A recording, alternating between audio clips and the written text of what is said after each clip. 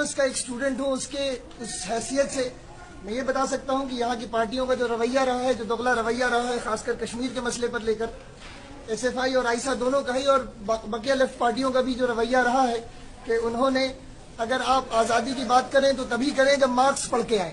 ٹھیک ہے، اگر آپ نے مارکس نہیں پڑھا ہے تو آپ آزادی کی بات نہ کریں۔ اگر آپ اللہ اکبر کہتے ہیں تو آپ آزادی کی بات نہ کریں، وغیرہ وغیرہ۔ تو ان کا اسٹینڈ کلیئر نہیں، یا تو یہ ڈرتے ہیں۔ کہ یہ بول نہیں سکتے، یہ انہیں مارجن پش کرنے کا ان کی نخواہش ہے اسٹیٹس کو میں خوش ہیں۔ ہمیں، مجھے آج بھی کئی لوگوں نے سمجھایا ہے کہ آبجیکٹیبل نعرے نہ لگانا۔ ابھی آبجیکٹیبل نعرے کیا ہوں گے؟ کہ بھیا ہندوستان نے قبضہ کر رکھا ہے، کہ یہ زبردستی کا قبضہ ہے ستر سال سے۔ مودی تو آ جائیں انہوں نے اس کے آگے بڑھایا ہے یہ آبجیکٹیبل نعرے۔ یہ نہ لگائیے آپ۔ کیونکہ یہ اسپیس ایسا ہے کہ ہم ہٹلر کے جرمنی میں رہ رہے ہیں جے این یو نہیں ہے۔ یہاں آپ کچھ بھی بولیں گے، آپ کو اٹھا لیا جائے گا کانسنٹریشن کیمپ میں ڈال دیا جائے گا، پتہ نہیں۔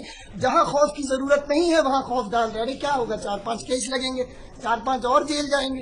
وہاں ستر سال سے یہی چل رہا ہے۔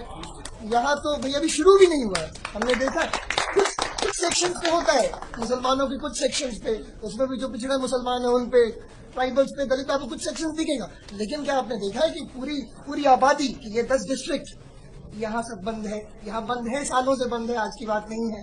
تو ایک تو مسئلہ میں یہ اسٹوڈنٹ کی حیثیت سے کہ یہ ایس ایف آئی اور ایسا جیسی پارٹیوں کو اپنی لائن کلیئر کرنی ہوگی کہ کیا وہ سیلف ڈٹرمنیشن جیسے آسان سا فریز ہے استعمالی بھی بہت مشکل نہیں ہے، لیکن کیا وہ اس کو سپورٹ کرتے ہیں یا نہیں کرتے؟